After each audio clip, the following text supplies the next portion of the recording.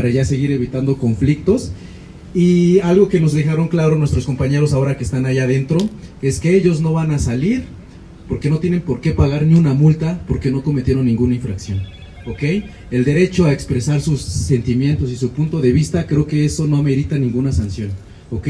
Entonces nosotros vamos a seguir, ellos van a seguir en la lucha aunque estén allá adentro y vamos a, a seguir aquí hasta que tengamos una resolución de gobierno federal, de gobierno municipal o estatal o el que se quiera acercar hoy a hablar con nosotros. Nos enteramos de las de las supuestamente agravios que ellos cometieron, donde primero nos comentaban que era sobre un tema de de, ahorita se me fue la, de alteramiento al orden público y ahora ya tienen dos más.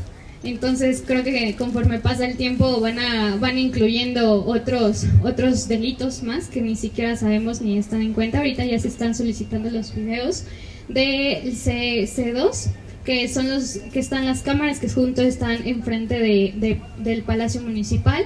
Y pues bueno, aquí vamos a permanecer hasta que exista un diálogo, un diálogo entre autoridades municipales y estatales